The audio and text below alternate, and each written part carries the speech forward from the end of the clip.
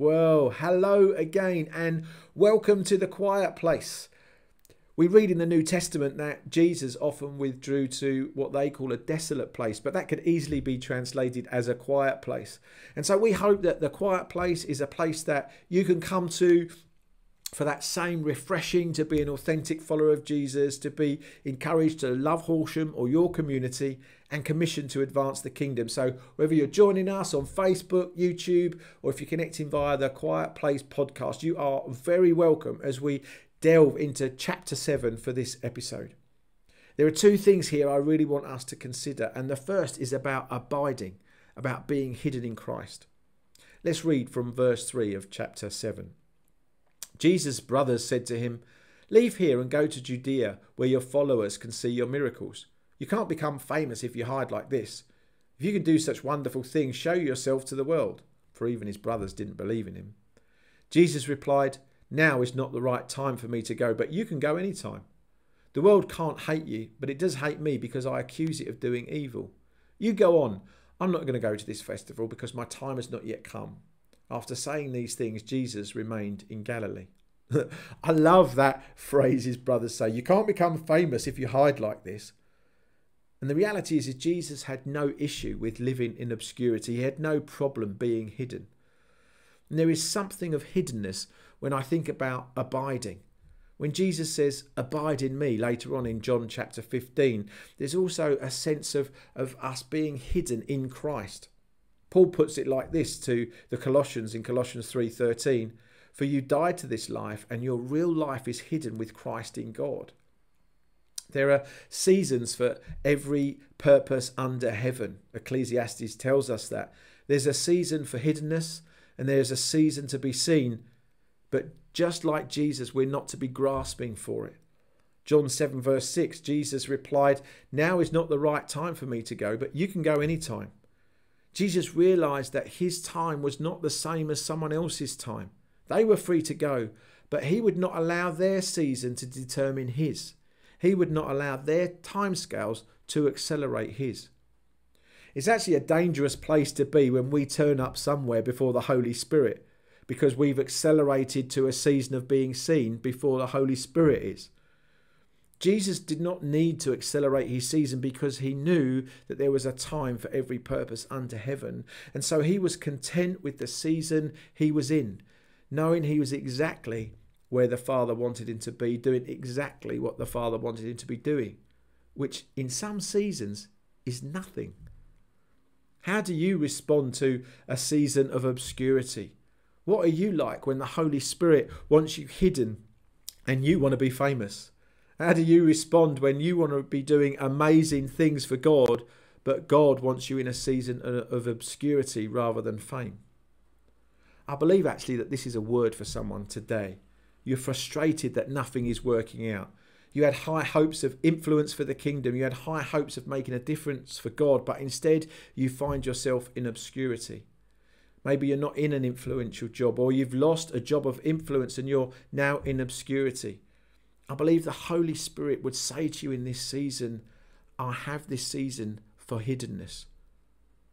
The hopes I have in your heart are from me, but don't race ahead of me. Even if you get the position I have for you, you will fail if you get there before I do. So lean into this season that you are in. Find contentment in this time of hiddenness. And if that's you, I pray that you will learn how to uh, do well in this time of obscurity.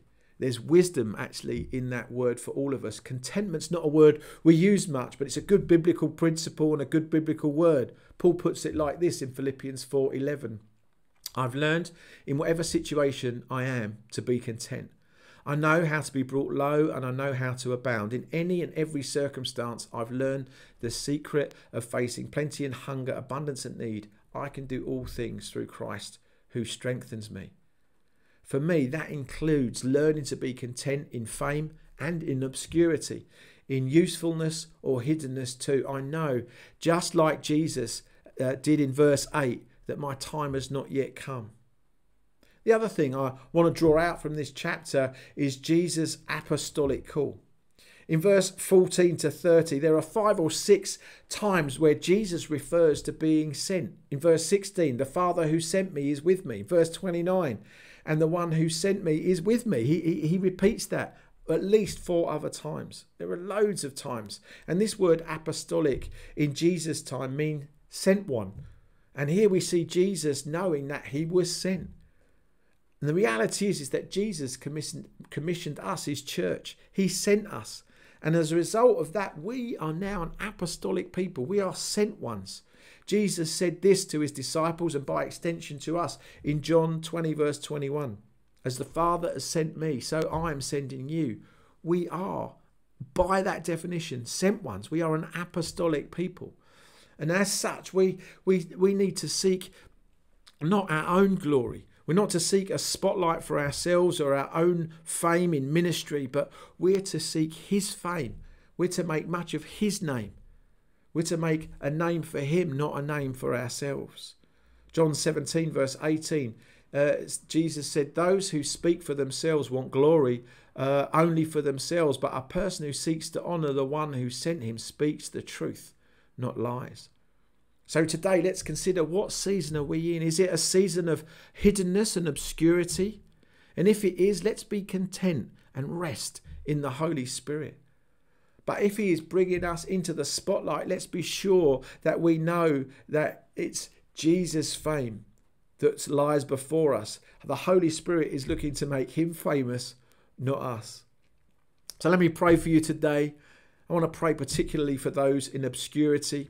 Heavenly Father, I want to pray for those who may have lost jobs uh, of influence, who have or maybe desiring jobs of influence or positions of influence, Lord, for good reasons, for your glory and not their own fame, but they find themselves in, in a place of hiddenness or obscurity right now.